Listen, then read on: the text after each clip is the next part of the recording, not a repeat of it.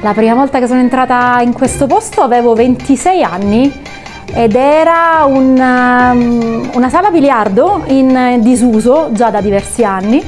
eh, quindi ci voleva moltissima fantasia per capire un po' quello che mia mamma avesse in mente, ma lei era una visionaria, una lungimirante e quindi lei aveva tutto chiaro.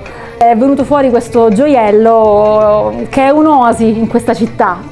Eh, scendendo quelle scale il nostro obiettivo era quello di eh, coinvolgere tutti i sensi e far dimenticare eh, ai nostri ospiti di essere a Palermo, di essere nel caos, di essere al Politeama. L'incenso eh, coinvolge parte dei sensi, le luci basse, le candele, la musica, eh, i nostri sorrisi, eh, questo, questo questa fetta di Marrakesh perché abbiamo importato tutto da Marrakesh vent'anni fa proprio perché fosse eh, tutto più, più veritiero possibile e oggi ci dicono che ci siamo riusciti, ci dicono che scendendo quelle scale non si è più a Palermo, si potrebbe essere in qualunque parte del mondo. Qui abbiamo voluto riprodurre eh, il bagno turco arabo tradizionale, quello che possiamo trovare a Istanbul, a Tunisi, ma nello specifico è quello marocchino, è quello di Marrakesh. Abbiamo proprio riprodotto i vari passaggi, eh, c'è il, il, il, tepidarium, il frigidarium, il calidarium, utilizziamo gli stessi prodotti che importiamo proprio dal Marocco, quindi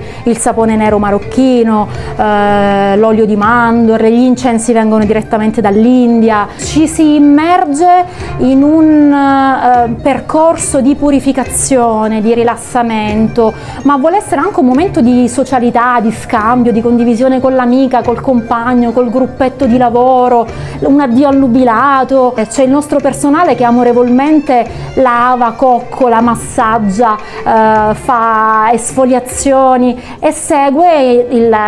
il, nostro ospite dall'inizio fino al momento finale che è il momento in sala relax, in questa sala relax in cui offriamo eh, sempre una tisana, un infuso con dolce dolcetti arabi alle mandorle. In vent'anni migliaia di storie sono passate da questo hammam, penso che si siano incontrate persone, siano nati amori, eh, si siano firmati contratti di lavoro, penso che ci siano state tantissime storie qui e tantissime ancora ne vogliamo raccontare. Io sono la seconda generazione, mia figlia oggi ha 11 anni, Luna,